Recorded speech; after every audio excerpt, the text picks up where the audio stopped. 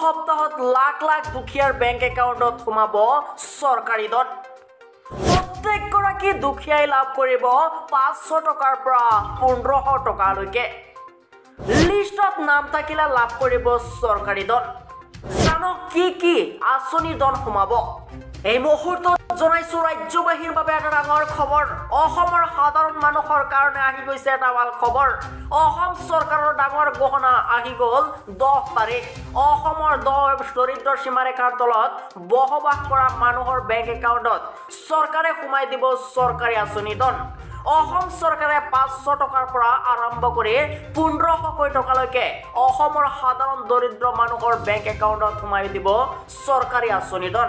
ইয়াৰ লগতে অৰুণোদয় আঁচনিৰ দুই দশমিক শূন্য আঁচনিৰ বাৰশ পঞ্চাছ টকা সোমাব দহ নৱেম্বৰত। মুখ্যমন্ত্ৰী ডক্টৰ হিমন্ত বিশ্ব শৰ্মাই ঘোষণা কৰি কৈছিল যে যিসকলে নতুনকৈ অৰুণোদয় আঁচনিত আবেদন কৰিছে সেইসকলে নৱেম্বৰ মাহৰ দহ তাৰিখৰ ভিতৰত বাৰশ পঞ্চাছ টকাকৈ বেংক একাউণ্টৰ জৰিয়তে লাভ কৰিব।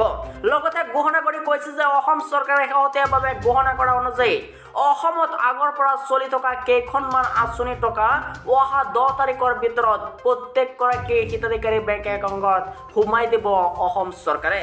এইকেইটা আঁচনি যিবোৰ মানুহৰ নামভুক্ত অন্তৰ্ভুক্ত হৈ আছে সেইবোৰ মানুহে চৰকাৰী ধন লাভ কৰিব। আঁচনি কেইখন জানি লওক কি কি আঁচনি ধন সোমাব। এইকেইটা আঁচনি টকা সোমাব নৱেম্বৰ মাহৰ দ্বিতীয় সপ্তাহত। যিসকলে নতুনকৈ অৰুণোদয় আঁচনি আবেদন কৰিছে সেইসকলে লাভ কৰিব টকা। আগতে যিসকলে অৰুণোদয় আঁচনিত আবেদন কৰিছিল সেইসকলৰ টকা সোমাব দহ তাৰিখৰ ভিতৰত। তিনি নম্বৰতে ইন্দিৰা মিৰি সাৰ্বজনীন বিধৱা পেঞ্চনৰ আঁচনি লাভ কৰিব মহিলাসকলে। আৰু দীনদয়াল দিব্যাংগজন সাহায্য আঁচনিও লাভ কৰিব চাৰি নম্বৰতে। পাঁচ নম্বৰতে কৈছে যে শ্বহীদ পোৱল পোৱাৰ বৃদ্ধ পেঞ্চন আঁচনিৰ ধন সোমাব প্ৰত্যেকৰে বেংক একাউণ্টত লগতে বৃদ্ধ বৃদ্ধ আৰু বিধৱা পেঞ্চন আঁচনিৰ ধন সোমাব দহ নৱেম্বৰৰ আগতে।